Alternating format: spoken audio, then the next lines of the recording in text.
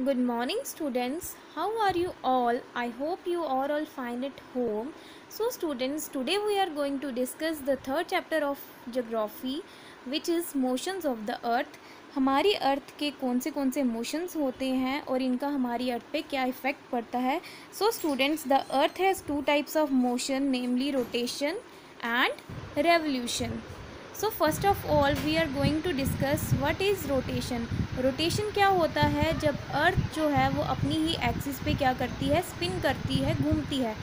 Axis क्या होता है? ऐसी इमेजिनरी लाइन जो कि अर्थ के पोल से पास करती है। अर्थ को एक रोटेशन कंप्लीट करने के लिए ट्वेंटी फोर आवर्स लगते हैं।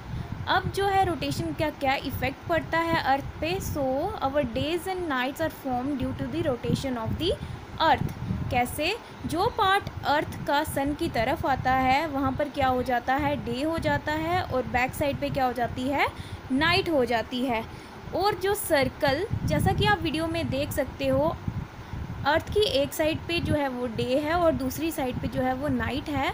और ये जो सर्कल जैसा बना हुआ है, इसको हम क्या बोलते हैं? Circle of illumination.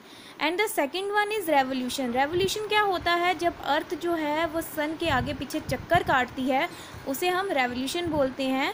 अर्थ जो है वो अर्थ अर्थ जो है वो सन के आगे पीछे चक्कर लगाती है एक एलिप्टिकल पाथ में, जिसको कि हम ऑर्बिट बोलते हैं।